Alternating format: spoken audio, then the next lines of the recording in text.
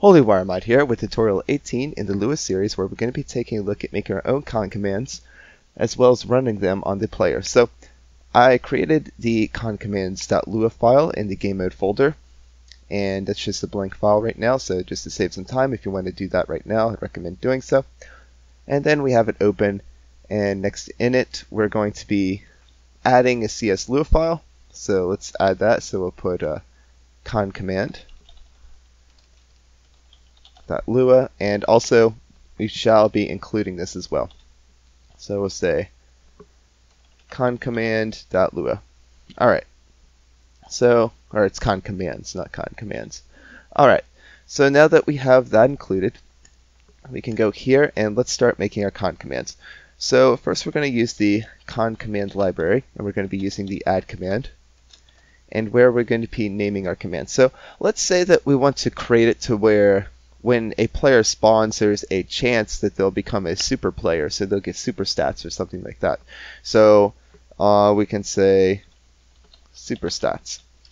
And then we can say it's a function which involves a player, and then we're going to have n. So right here in the middle, this is going to be what our con command actually does. It's going to be the function that we're running. Alternatively, of course, you can have a function right here with some names. So we'll say like local rfunc name it, and likewise you can put our function right here and that'll work just as fine. But just to simplify it, I'm going to keep it like this. Alright, so let's say that we're going to make our super player, so we're going to have to set the health, the max health, the walk speed, and the run speed. We'll set that to different um, stats. So we'll say we'll start them with 250, we'll give them 300 health, and uh, they can be twice as fast in their walk speed, but their run speed will keep the same. So we're going to put player here instead of self, and that's going to make our super player.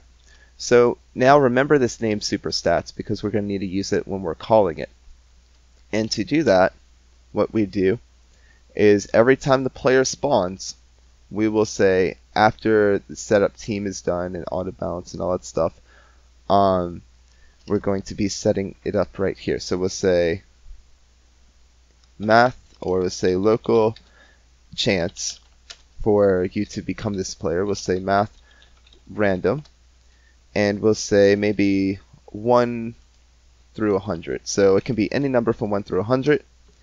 Now, after this number has been selected, we want to do a conditional check and say if chance is greater than, for example, let's say 25. So you have a 75% chance to become a super player. So, or actually, no, what? We'll do 50 just to kind of keep it even. All right. So then we'll say player con command, and then we will use super stats, which is the name of our con command in concommands.lua. All right.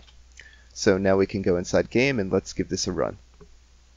Alright, so we're in game and I just spawned with 150 health as normal. So let's see if we can trigger the other events where we have a 50% chance, or just about a 50% chance. There it goes. Now we have 250 health. My walk speed is doubled. Run speed's not affected. But uh, th that's how you would add a con command for if a player was spawning. Now keep in mind you do not have to be limited and only doing for when the player spawns, you can use this con command, perhaps uh, chat commands, for example, like when we use the chat command buddy or the text message, whatever, if you recall from the chat command tutorials. Uh, we can then run the con commands here instead. So if you have any questions though or anything that doesn't make sense about this, um, feel free to leave some comments below. Oh, one last thing, you can also remove the con command. So for example, for whatever reason, after I ran it, let's say I want to remove it.